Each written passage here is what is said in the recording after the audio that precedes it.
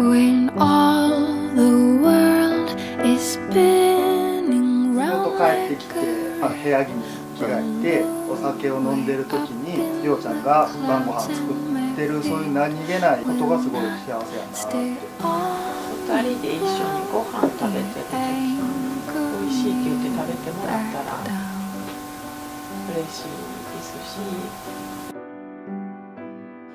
やっぱり2人の生活スタートした上で大変なことを実感するたびにあ親ってすごいな。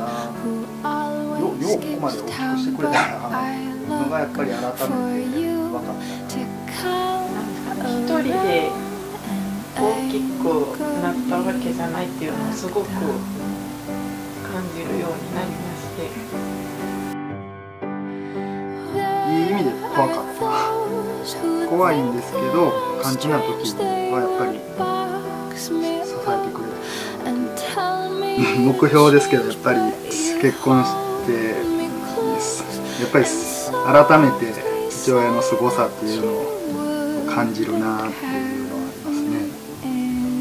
おかんは中学校高校あと専門学校の時ずっと作ってもらっててあのすごい美味しかった。んです思い出しますねやっぱり。ずーっと食べてたんで。Anchor me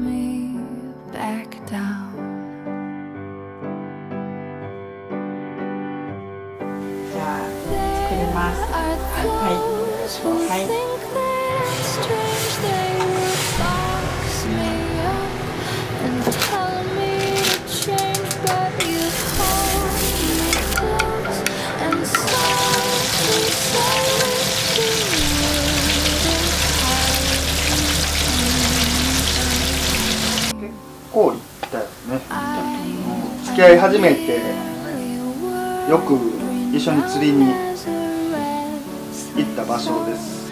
やっぱり海のあるところで育ったので奈良は海がないんでね。やっぱり見たくない。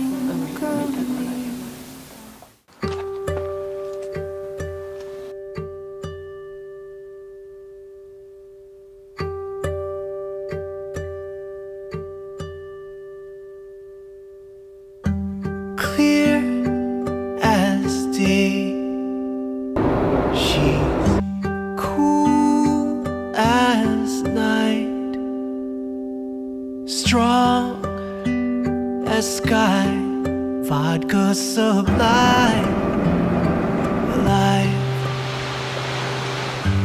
warm as summer. She's pure as night, dark プロフィールのねあの裏側のビーチこの辺りとあっちの方と、ここら辺の輪になってるとこといつも思い出します。種子島のことだったり家族のこと。お父さんは怒る人じゃなかったんですけどでもお父さんに怒られるのが一番怖かったですね。いつも穏やかに見守ってくれてで必要な時は手を差し伸べてくれて多趣味でちょっとおっちょこちょい バイタリティがあるってお母さんみたいなことを言うんだろうなって思います。地元に帰ろうか関西に残ろうか迷ってたんですけど自分の好きなことをしていいんだよって背中をいつも押してくれる。やっぱりお母さんは太陽だと思います。母が太陽だったら私は大地のようにどっしりとした感じになりたいですかね。私は多分母の真似をしても母のようにはできない。下から。下からこう持ち上げていこうかなと思いま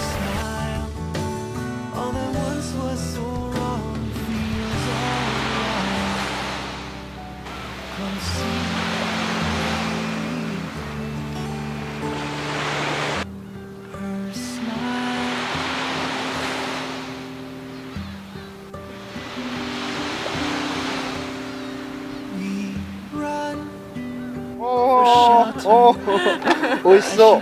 いやー懐かしい。うんあん。うん。あの懐かしい。すごい似てる。